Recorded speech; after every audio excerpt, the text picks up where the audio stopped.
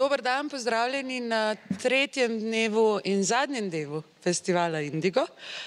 Danes imam jaz to čast, da vas pozdravim pri prvem dogodku festivala Indigo, ki je nastal kot zamisel našega direktorja Blaža Peršina, ki sedi tamle danes v zadnji skoraj vrsti.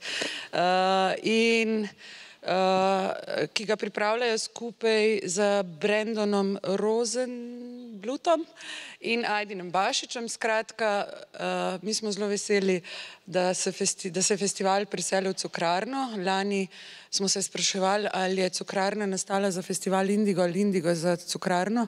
V vsakem primeru gre za krasno sinergijo. Festival Indigo prinaša vsebine, ki se jih kot ekipa v Cukrarni morda premalo dotaknemo. Zato me pa veseli, da imam danes to čast, da predstavim umetnika Olafa Nikolaja. Warmly welcome to Cukrarna, Olaf. I know you are a regular guest in Ljubljana. You know, you are cycling around the town even, so you are totally local. But still, we are very happy that you are with us, that you will give us introduction. So allow me to say a few words in Slovene and then the floor is yours. Torej, verjamem, da ga poznate, pa vseeno dovolite, da povem par stavkov. Nemški umetnik Olaf Nikolaj v svoji praksi obravnava teme, ki obsegajo vse od politične in družbene kritike do preučevanja človeškega zaznavanja. Konceptualni okvir njegovih projektov vključuje tudi vprašanje, kako si umetnost in oblikovanje estetsko prilaščata naravo in jo izkoriščata. S prevajanjem različnih znanstvenih teorij v estetsko-umetnostne idiome vzpostavlja nove diskurze in aktualne premisleke o vlogi umetnosti v družbi. Poleg številnih samostojnih in skupinskih razstav je med drugim leta devetnajststo sedemindevetdeset in dva tisoč sedemnajst sodeloval na Dokumenti v Kasslu ter leta dva tisoč ena in dva tisoč pet na Beneškem bienalu. Trenutno je profesor na Akademiji za likovno umetnost v Münchnu. The floor is yours. Thank you. Yeah, thank you for for joining the lecture. Also, I know it would be much nicer to sit outside with this beautiful autumn day and the sun. So, um, what I wanted to talk about is I present you works of mine, but not in a way that I wanted to give you an overview of my, my body of work. It is more that I was, especially yesterday and uh, also before, following some talks here, and I had the uh, idea, also the framework of the talk, what we, the whole festival, um, to focus on this kind of political aspect, what we are in right now. And I was looking through my works, and I was very surprised sometimes to find echoes which are more than uh, 20 years ago, and they're very as they would be today, not because of the works, just because of the constellation. So when you read about neoliberalism, you read about all these kind of things, you could have read that 25 years ago also. It's like something has not changed it's a very strange feeling sometimes. So, for example, this newspaper was published in 1999. So, and when you would read the headlines of that, it could be a newspaper of today. And at that time in 1999, they asked artists what they would expect from the new millennium, what is coming, the year 2000. That was a great thing. So, and you could deliver certain uh, projects, and I proposed them um, this, what you see in the corner up there, which is a sticker, and enjoy the wife, the wife enjoy. So for me, that was the two things what I thought which will characterize the period to come and which I was living in, enjoyment and survival. So you can try to survive the enjoyment, or you can enjoy to survive. So it depends how you start to read it and how you engage with it. So this double layer of things, that was something what was especially in the 90s an experience for me. Maybe some of you know that I grew up in East Germany. So when the wall came down, there was a new system I was facing. And it was interesting to me to learn to navigate through the system, to learn how the system is working, and also to learn how options you have to navigate in the system. So one work which I did at that time is a big sneaker. It's the Air Max of Nike. Uh, this year, I think Nike did a remake of the Air Max, uh, or, or, last year. At that time when I did it, it was just a symbol, what was the most uh, fancy uh, shoe you could have. So, you know. And the funny thing was, was there was this nice uh, joke by somebody when you went to an opening and all the curators who were extremely critical and politically correct uh, were wearing Nikes and sneakers. And you could, and I think there's a nice work by Elmgreen and Dragset, which is just a bunch of sneakers, and it's called the curator's shoe. so it was this kind of way, you know, that you are part of something what you also criticize. So this double layer uh, in this work, because the sneaker is never exhibited itself. It's a blown up sculpture. You can go in, you can lay in. It's like a big sofa, and it's mostly when it's exhibited uh, playground for kids. So they love to. They can move it. They can go in. They can play with it. If you not want to play and you want to read, there's a text which surrounds this sneaker, and it's a text by Zadie Smith, which was published in the time um, around when the sneaker, when the Air Max was coming out. And this text is a short catalog of things that you think you want. And interestingly, Zadie Smith published this text in a magazine called Face Magazine when Face Magazine was celebrating his anniversary. And she was a regular contributor to Face Magazine, and Face Magazine is the magazine which was the most important magazine for merging art, culture, and commercial stuff in the 90s in London. Young British art, all these kind of things you could find there. And they really created a kind of lifestyle which on a superficial level then New Labour, New Britannia and all these kind of things were catching up with and cultivated. So, and she published a text in this magazine criticizing the magazine. And it starts, so what is that, what do you think you want? The received wisdom goes that you want fame that we all want it now, the same way our, parents wanted a good melon. The good news, and this is the end of the text, is in the end, it's the new trainers you want, and don't try to tell me different. Well, the good news is you don't only think you want them, you really want them, despite their three months lifespan, Nike's profit, and the children who make them. Because they are beautiful, because they are art. And as we have learned these 20 years, art will you making doing shit like that nine times out of 10. So what she is talking about is how you as an artist participating exactly in that what you are criticizing. And how do you navigate in such a system? How do you deal with the aesthetic codes which are helping you to survive at the same time uh, commodifying you? And this text, what is surrounding the sneaker, is installed in a way that you have to read the first line and then you have to go back to read the second line. So if you want to read the text, you're circulating around this sneaker like an object which is in the center of your little universe. So this lead me to something thinking more about the aesthetic, the question, what is aesthetic, what makes you participating, or is it something what? Uh, where is the point? What the whole crucial thing is about when art is doing nine times, making you doing nine times out of ten this shit? What does that mean? What is it? What is organizing our feelings and what is helping us to navigate on the one time and on the other side are being commodified? And I find it quite uh, helpful to dive back into history. So if you ever go to Rome and to visit one of the most interesting private museums, the Galleria Colonna, you enter the Galleria Colonna, which is one of the few private galleries which still have the hanging like it was originally intended. So you enter in this room, and then you see this huge mirror hall. On the ceiling, there is the painting, the Battle of Lepanto, because one of the colonnas was the commander of the uh, fleet who were uh, in the Battle of Lepanto, what was building up the Turks. And when you work back, you see also this little place with a little column, everything like this insignia of the power. A little nice detail is the cannonball in the staircase, because during the 19th century, in the revolution, somebody tried to bombard the palazzo, and the cannonball just hit there and laid there. And of course, they just let it there that's just to show who is on the longer run. So you can check that. So, but if you go there, you have this hanging of the paintings. You see these three paintings on the left side, so they are mirrored by three paintings on the other side.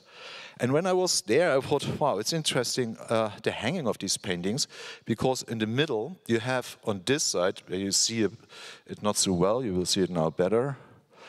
It's a Tintoretto, it's a Narcissus. It's the Narcissus who is just looking down to the water, seeing himself. On the other side, you have a painting which unfortunately I don't have a very good uh, reproduction. It's a Hieronymus Bosch, The Temptation of St. Antonio. There's a better version of it like this, which is in the Doria Pamphili. So, and these two paintings just hang opposite to each other. And I was asking myself, is this just by accident? And then when you go back, the top painting and the lower painting on both sides, they are the morning, the noon, the night, and the evening. So there's no accident. These two paintings meaning something. They are commanding each other. And what is it what is combining a Narcissus and the temptations of St. Antonio? So the temptations of St. Antonio is about a monk living in the desert having temptations. And his little kind, tiny problem is he doesn't know who is speaking to him. It's the devil or it's God. Or is it the devil who pretends to be God? So he needs a certain distinction to distinct what is a message from God, what is a message from the devil. So he's facing the same problem as Narcissus because Narcissus doesn't know that he is seeing himself. Somebody tells him. Before he's believing he's seeing somebody else. So what you have is a theory of images. It's about what is an image and why do you need images? And what does an image with you? Why do you need an image? Because you need a guideline. You need something to orient. Narcissus, when he knows that he is Narcissus, he, the whole world is breaking down and he is totally lost. And Antonio needs a guideline to understand who is God. He calls it believing. So the question, what is an image, is deeply connected to the question, what we believe and how we believe and how images are produced and what is how images are circulating. There's another nice image here, and this I found in a report about how to test scientifically if animals have consciousness or not. And the way is to see how they behave in front of a mirror. The concept is very simple. If you react to a mirror in a way that you will recognize something in the mirror, then it's believed that there is consciousness. So I don't say that it's true or it's not true. The interesting thing is that also in a very advanced scientific theory, you need an image theory because they say consciousness is only there where people are able to register images or somebody registers it. An animal, if it registers images, then we say it has consciousness. So it is very deeply linked to our idea who we are when we talk about images. And so that's why I think when you walk, work in this aesthetic field, you're doing at the same time not only exploring unknown territory, you're also cultivating very, very old territory at the same time. It's going a back and forth thing. So um, this is now a very mental thing, but it has also physical consequences. This is a work uh, which was exhibited in the Kunsthalle in Basel. And the Kunsthalle in Basel is a building from the 19th century. It's not so beautiful new as this building. So if and uh, the former director there, Thomas Kahn, uh, asked artists to contribute to an exhibition with the very, very uh, little, not ambitious title, Weltmoral, the moral of the world. So when I visited the place, I saw that in the doors, where you see now the thresholds, there were no thresholds, but the wood had different colors. So when I asked him, used to be there thresholds, because under a threshold, the wood is aging differently because of the light. And I said, yes, but we had to remove them. And I said, why did you remove the thresholds? You know, they disturb for installation, and also we found them not contemporary for artworks anymore, because if you place sculptures, nobody can distinguish if this is a sculpture as well or not. So you have a certain economy of objects which are evaluating other objects. I mean, so I asked if we could replace the thresholds. So we replaced the thresholds for this exhibition. Now you can ask, what has a threshold to do with moral? The Latin name for threshold is limen.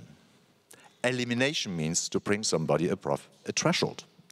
It's crossing from one order to another, from life to death, from an order from there to there. That's why archaeologists, if they want to study spaces, looking for thresholds, because they mark the border between physical and metaphysical spaces. So, and the most interesting thing is when you walk above a threshold, you do it without recognizing. You just move differently. You do, if there's none, you move slow. If there's one, you move a little bit higher. And that was very nice illustrated because during the press conference, the director forgot to mention the piece, but he fell three times because he was stumbling about the thresholds, because he knew his place without the thresholds. So, but he did not move. And what I found interesting is you register something and you make a decision, but you don't do it consciously. Because when you move through the space and there is a threshold, you just do it. You make a decision without knowing that you did a decision. And this is the field what I call aesthetic. In this field, we just make decisions without knowing we do decisions. But we do it all the time endlessly. And this is where I like to work. This is what I like to play with. So that's why I was uh, showing you these more things. Giving this idea with the imaginary, the images, how guideline them, is a project what uh, was executed in Scotland. And I was invited to contribute with a sculpture to the national park, the first national park of Scotland, which was surprisingly uh, in the end of the 90s, being to 2000 established. Before there was none. And so they invited several artists, and they think they expected more sculptures. So when I visited the place, I was just there and then asking, what are doing people here in this? I mean, hiking. And then there was a funny thing. They said, oh, they like to do barbecue, a lot of barbecue. And then I was visiting all the time. It was very rainy. And I said, it's a bit strange, you know, when it's raining all the time, how do you barbecue there? I said, oh, we have waterproof matches. I said, okay, that's interesting, waterproof matches, and you barbecue in the rain. Yes, that's what we do. So, and then I also saw that they uh, do a lot of little things like uh, taking trees down and replanting trees. What in this concept of a national park in Scotland seems to me surprising because in Germany, for example, if there's a national park, you're not allowed to touch anything. Everything should stay as it is. So I asked him, what, what is, how do you make decisions about which tree you take down and which tree you plant? And they told me, yeah, looking, we want to make the landscape more looking Scottish. I, asked said, what do you mean by looking more Scottish? Yeah, for example, like this. And I said, why? You know, consuming landscape is the most important aspect of our economy. We need tourists, and they come when they see landscapes, what they like. So we design landscapes for them as they like. So I said, oh, that's good. Can I get some of the can I get some of the wood from the trees what are you cutting? And can I produce waterproof matches out of this wood? And then we calculate how many people consuming these waterproof matches, and then we build, uh, replant trees according to the amount of trees which are consumed by using waterproof matches. And so we did. So I got all this wood, and then we produced. They cleaned the view to the lake because they wanted to really recreate the image, what you have seen before. It is exactly this place. So, and then this was the matchbox. And then you had a matchbox, you could buy it, and on the matchbox there were also information about the project, and that was the place where the new wood going to be planted. So by consuming, you changed the landscape. You participated directly in it not in a big way, but in a small way. So that is, was one project where I wanted to see how I can infiltrate a thing and also produce something with the means what I have, what uh, could, on the one side, making you joyful participating, and on the other side, maybe you can reflect about what you participated in. So, um, and this kind of aspect of being on both sides of the barricade, I say, all the time. You're never only on one side, so it's a little bit like quantum physics. So it's also in one of my favorite Batman movies, where Michelle uh, is playing the secretary of the evil guy. And then when she finds out that it's, and when she is going home, she is very lonely, and she has this very beautiful neon at her house, hello there in the sleeping room. And then when the evil guy finds out that she knows a bit too much about him, he's throwing her out of the window. And then she is reanimated by the cats, and she is turning into cat woman. And then she's going home and just dressing her up new, the new outfit. And before she's leaving the room, she's just taking a bottle of beer and is smashing two letters of her nice neon, and it's now hell here. And I liked that, so I, I recreated this neon and it was uh, mostly exhibited in the front door of my gallery. Hello there, hell here. Because the way how you deal with your gallery is precisely this. So, hello there, hell here. And this is also this kind of double layered thing.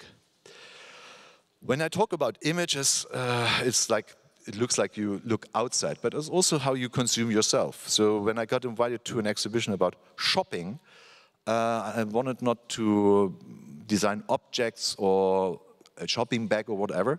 I thought, what could it be what really makes you interesting in yourself shopping? And I found going to the hairdresser is a nice way uh, how you really design yourself while shopping. So you shop yourself. So I asked if he could create a hairdresser saloon where people could dye their hair for free. So what, that's what we did. We, this is the hairdresser saloon, it's called Blonde. And in the window, I made a little exhibition with Blonde in the art world. You know, you have Maurizio Cattelan, you have Francis Picabia, Douglas Gordon, Vanessa Beecroft, Elizabeth Peyton, Pipilotti Rist, all where Blonde is coming on. So you could have also a little bit like going to the museum. But also you could really go in and get your hair dyed professional. So, and that was going on for two weeks. The only condition what I had is that I was allowed to take photographs of the people before and after. And that they gave me permission to use these photographs for my artworks. That's what they did. So that was a former Miss Netherlands who did this whole thing. And people were really enthusiastic about it. And these were the results. I show you some of them.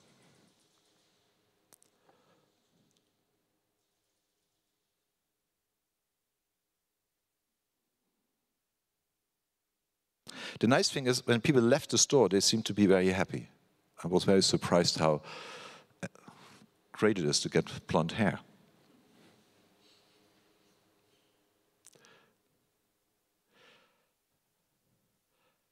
It was the time also where a guy in politics was making his uh, way to the power, and he was called the Blond, the most right-wing party in the Netherlands. So blonde has also a different connotation. So and I used this later for designing records. So there's a uh, band FSK. So I just put that on, and when they had their tour, we just printed these faces as the tour posters. So most people expected them, the band, to be. But so and that was also a way, you know, how you continue the way how people are designing. Why do they go to the hairdresser and want to dye their hair? Because they have a role model they want to follow somehow. So now they are role models themselves. So it was the logic of checking things, trying to imitate things, which I wanted to continue in a certain way with my own products. Talking about images has also something when you're looking up to the stars. So the first image, what humans have seen are the stars long before they had seen anything else. You see the stars. And it's the only thing what they see, they don't know what it is. You cannot touch it. You cannot go behind. You just see it. It's coming and it's going. So all the theories about stars, when you really read about these theories, they give you everything about what you need to know about art theory. All the theories what the stars can be are the semiotic theories which you find later, very elaborate. So when I got an invitation to the Venice Biennial, I thought about what can I do there? What really is also using this whole constellation of an exhibition like the Venice Biennial. And the most interesting thing in the Venice Biennial used to be socializing. When people go there, they try to meet. So it's a market of economy of attention. You need attention, you need to meet somebody, you need to hang out with somebody. The most difficult thing is to get a place for dinner So everybody's booking dinner like two months in advance. So, and that is the whole thing. So I would like to work with this attention. I would like to work with this economy of attention. So my proposal was just to produce a poster. Well, on the one side you have the stars, and on the other side you have a text. Welcome to the Tears of St. Lawrence. It's an instruction. If you follow it, you will see a falling star. If the sky is clear and you do it in this period of time, you will see a falling star. It is a very simple thing. I advertised the Tears of St. Lawrence, the La Notte di San Lorenzo. So the Venice Biennale did that. They posted all over the place. And so uh, people started stargazing to look for falling stars. So they invited me to that. And then two collectors came to me and said, listen, how did you do that, that the NASA is doing this for you? And the interesting thing is that when you smile about that, it sounds like they are stupid, but they are not stupid because what they really articulate very clearly, if something comes to the realm of attention, it's a commodity immediately, then you can sell it. Only when you get something what has an attention, you can sell it. What you not pay attention to, you will never can sell. So the thing is, when we perceive something, seeing is immediately commodifying. So stargazing is a big thing, and you gather together and you can build a nice economy around it, service economy. So, and that is something what this piece came with. And then we published a little booklet where you could read about everything what has to do with the stars, and also a glossary where you have for falling stars, comets, whatever what is there. One of my favorite, so it looks like that. And that was for free at the Biennial, what you could. And then also what a nice thing is, you don't need to travel to see this work. Yeah, you can just look up the city where you live, and then it tells you at what time is the best condition to see it, and whenever you can watch it, wherever you in the northern hemisphere where you are. So it is not. It's only time-based. It's not located in this way. So then you have, and this map is a really nice map. It's a map from the NASA. It's called the map of non-cooperative objects. It's the trash what is surrounding Earth. Because these objects are not cooperating. You cannot guide them. You cannot do anything with them. And this is one of the most uh, treasurable things, having an accurate map of these trash. Because if you want to send up a satellite, you should know that it's not hitting another one, which is trash only. And some of the falling stars are something, nothing else than trash which is falling down. Also, one nice episode is with, we believe that the falling stars have to do with wishes the old Egyptians believed that when a star is falling down, somebody is dying because they believed that all the human beings are represented as stars in the sky. So if a star is going, somebody is dying. If a star is coming, somebody is born. So you see, there's also a lot of things. And the wish thing comes because the old Greeks had this idea that the gods sometimes cleaning their house. And when they're cleaning their house, the trash Therefore, out of the door is that thing what comes down as a falling star. But if the door is open, you can send up a wish. So you can get through the door. So these are these kind of fairy tales what you find in this little booklet. And another way how you can use images and uh, playing double layer with reality, I like old postcards. And I like to go to Naples. So one of the postcards I found in Naples is this one. It's in the front of the Palazzo, of the, uh, the Royal Palazzo.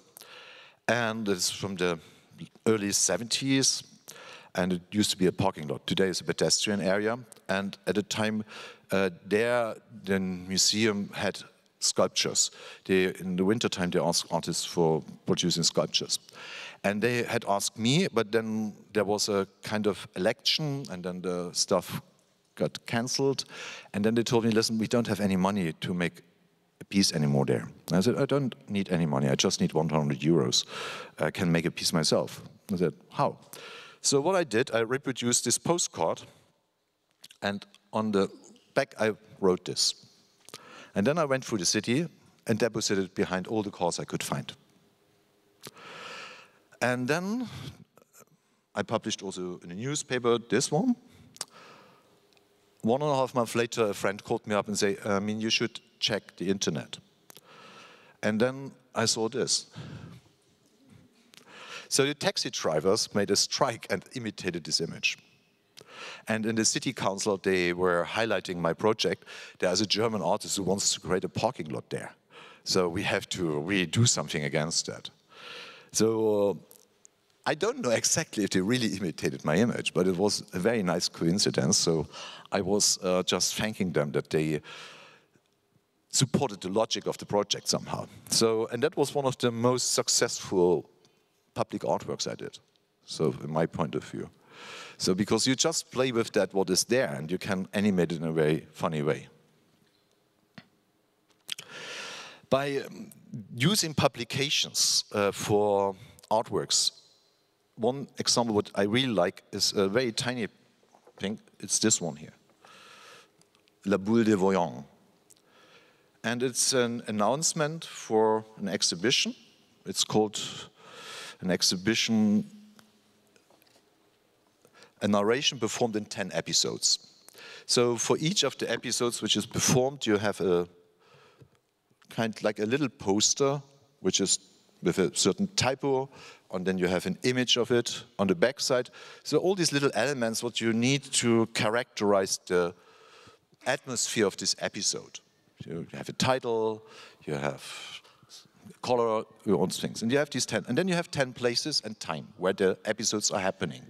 So these are 10 places around the world, and they are um, and several times. So you could travel around the world and see all the 10 episodes. The interesting thing was that nobody knows if there where you go, the people are participating in the episodes or not. So the first episode was also in Venice. So a TV went to the store and they asked them, "Are you playing this episode here now?" And they were quite smart. They said, "Maybe." So we never released if we have contacted these people, if we were in contact with them or not. So it's just going there. You see what is maybe going on anyhow, or is performed. You cannot find out. It's what you believe, what you see, and then you can deal with that. So, and that was a very simple way of doing a little exhibition, which was, I found, not too bad. One of the last things I want to show you is um, the contribution what I had for the pavilion, the German pavilion in the Venice Biennial. So what I did, I asked people to stay on the roof of the pavilion and they produced boomerangs there. And from time to time you could see them throwing the boomerangs. And these boomerangs were sold in the city as an addition, but they were sold by people who did not know that this is art. They sold them as boomerangs. So the thing is that if you see it or not see it, was just by accident. Nobody knew how the people came up to the roof. They were living there for seven months, and they were producing these things there.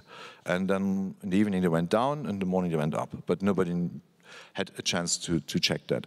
And for me, the interesting thing was, again, these little tiny gestures which are changing what you see, what it is. It can be something else, it can be something different. So what you call fiction in a certain way. And I want to show you at the end a 12 minute film, which is a kind of documentary and it plays exactly with this fiction thing as well. And uh, I need to tell the technicians, I want not to show the first movie, I want to show the second movie. Yeah. So, and that is what we're doing now. And there's still time for it?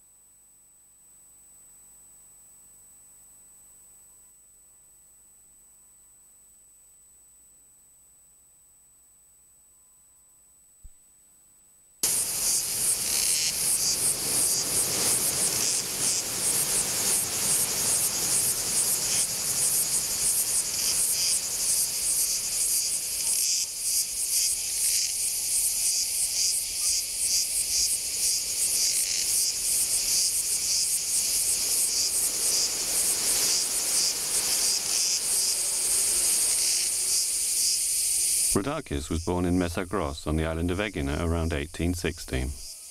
As a child, he only knew the small towns of the island and the city of Piraeus. His mother occasionally took him along when she went there. He grew up without his father, who was away at sea and only rarely visited the island. From time to time, his father sent considerable sums of money, enough for Rodakis and his mother to live comfortably, and also to buy some land.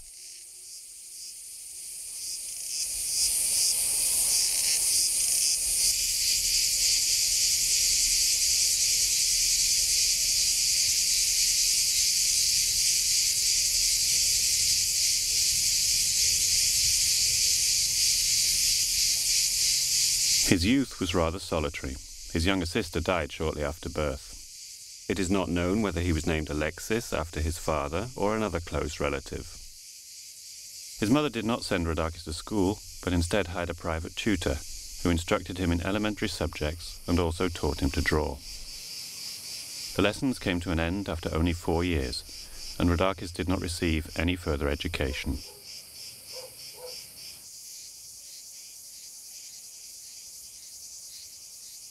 At the age of 15, Rodakis decided to build a house of his own. He had gone to Piraeus, where he wanted to sign on a ship. Although he gave up this plan after only a few days, he did not return until several months later. He then informed his mother that he would not move back into her home.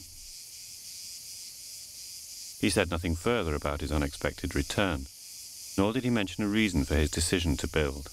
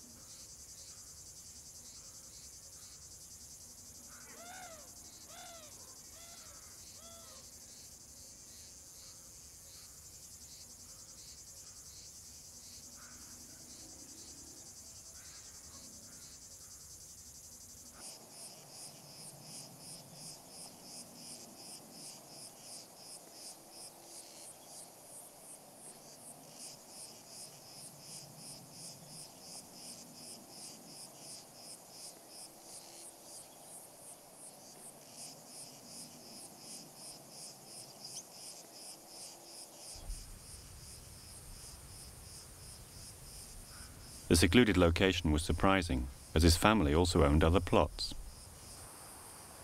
It was assumed that his choice was connected to the news of his father's death that reached him around this time. But in fact, he had decided in favor of this location several months before he heard this.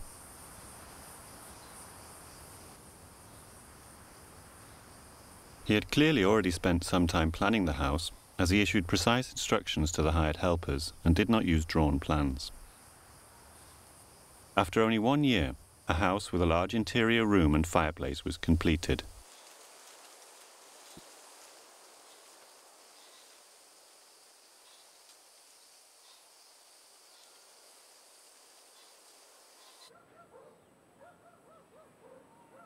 Shortly after completing the first large building, he planted a spacious garden and added extensions to the house. Even though he never spoke about it, it seemed clear that he was not building all of this only for himself.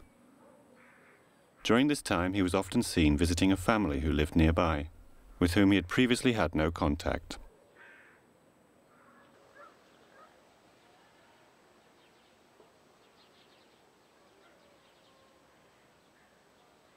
Rodakis didn't only use local building materials from the surrounding quarries, which was unusual he also had stone delivered from the mainland that he then processed himself. He left the facades of the house unplastered and painted the interior walls with abstract and floral patterns in strong colours. People particularly noticed the distinctive design of the many fireplaces. When asked about this, Rodakis only replied that he loved fire and that these were special places for him. He answered questions about his inspiration or models by saying that he wasn't interested in books with pictures, but instead preferred reading poetry.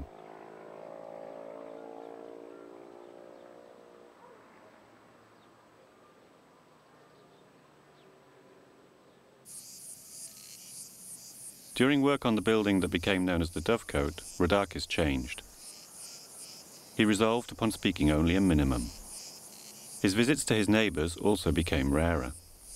The neighbour's oldest daughter left Mesagros a while later and went to Piraeus, where she is said to have married. After the construction of the terrace, the extension of the garden to the east was suspended. Instead, fig trees and agaves were planted.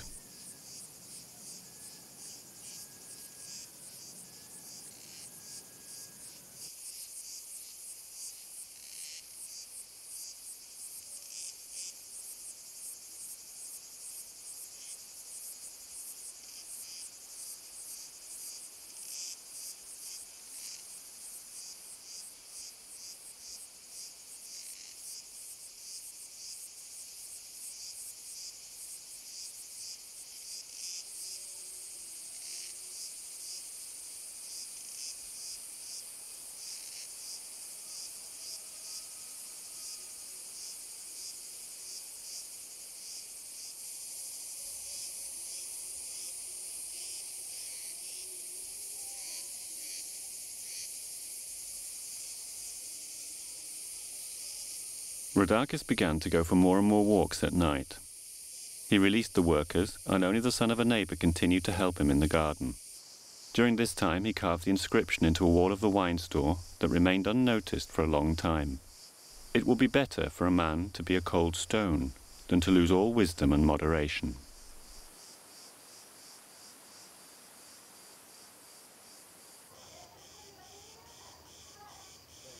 By now, the peculiar design of the house was attracting some visitors.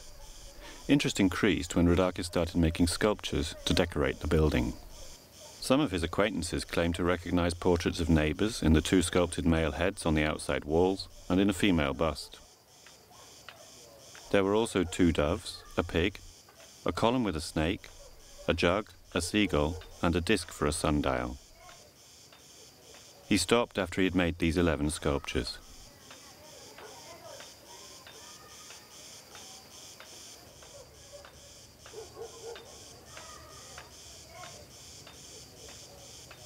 One of his frequent visitors offered Rodakis to exhibit his sculptures in Piraeus.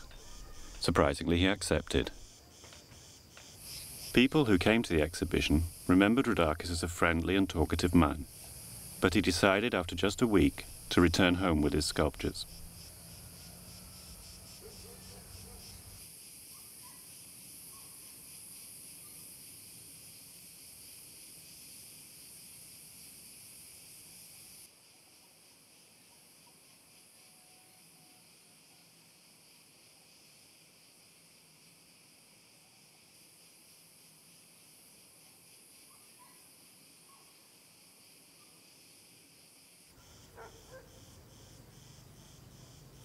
When he was around 50, Rodakis talked to his neighbour, whose son helped in the garden, about important arrangements for a longer absence.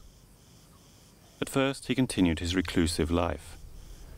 But then a year later, he failed to return from one of his regular visits to Piraeus. The neighbour's son moved into and took over the running of the house.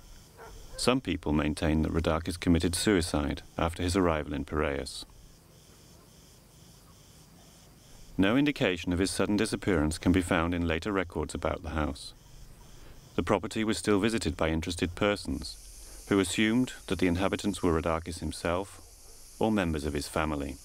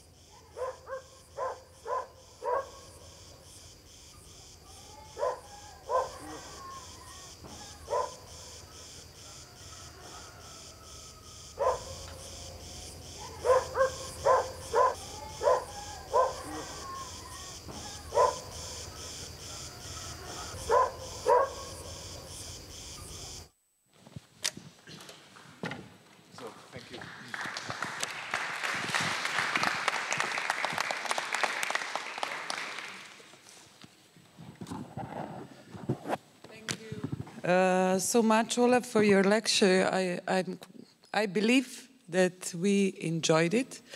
Uh, and not surviving it. It's, it's, it's not a question. But is there a question from the public? Would somebody like to ask something? Mm -hmm. um, hello, Olaf. I know that because we are involved a little bit, you do one project with uh, Luca Lo Pinto, you will do it in November in Plečnik House. I mean, still, it's not the opening, 8th of November, but maybe you can tell us just small, small affection of this.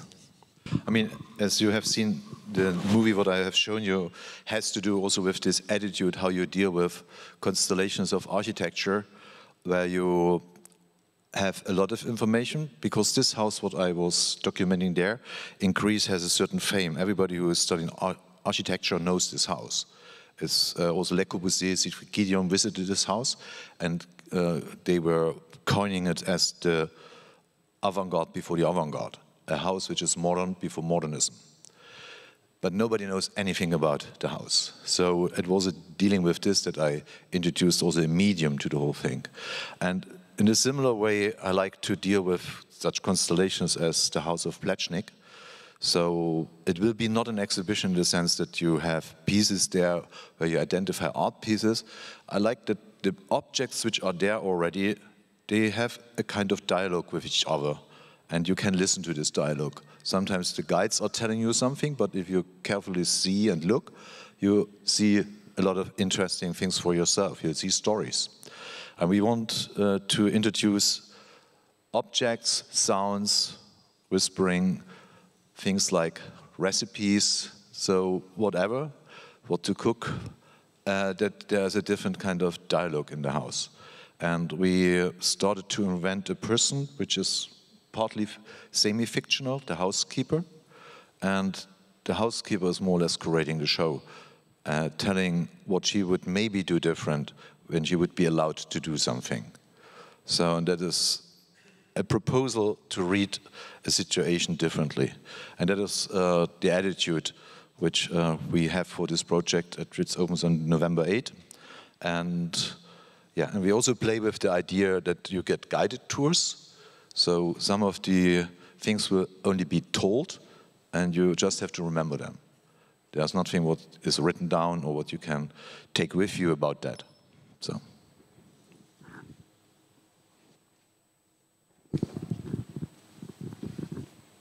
Any more questions or comments? Um, uh, uh, about this thing you were mentioning about the trust uh, in art between let's say, the image maker and the image watcher, the, the, the artist and the public, and this trust that is kind of established between. I'm just kind of interested because in, in, in your practice, but also like general art, there's also a lot of myth making, there's also like certain white lies and stuff and there's also like a certain mysticism about art so i'm just interested in like how do you kind of square these things like these like let's say myth making on one side and then this trust that has to be kind of established between the artist and the public I mean, there's also exactly the question with the myths about this house, you know, how could you deal with them? Interestingly, this medium were reporting about a lot of things which you find in the literature about the house. I don't know if you really prepared yourself so well that you would read it, but it took me two years to collect all these informations. And uh, the myths are already there. For example, one of the most famous architects, uh, Dimitris Pikionis, who designed also the first modern Greek building, a school, but he also designed the Acropolis, the whole park of the Acropolis. He had a house close to it, and people on the island believed that he had built the house. But he changed his whole architectural style after he got to know the house in the 20s. So there's a lot of these kind of things. So how do you deal with that? You can make a very classical report, you can make a scientific thing, whatever. And I thought the best way of to deal with mythology is to use mythology. Mysticism beats mysticism. So that was the way out of this, you know, because when you read it, you understand at the end what is true, what is not true, needs different categories than just that what you have at hand.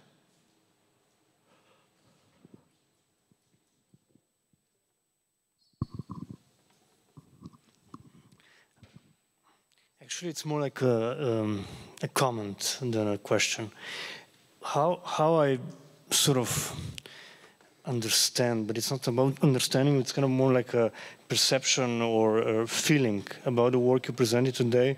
It's a kind of, um, it's connected to tacit knowledge or implicit knowledge. So something kind of like a knowledge which is all around, you know, which actually it's gained through kind of like personal or non-personal skills and experience, kind of like an experience, experiential knowledge, you know. And what I find it like really fascinating, it's actually that you make this knowledge uh.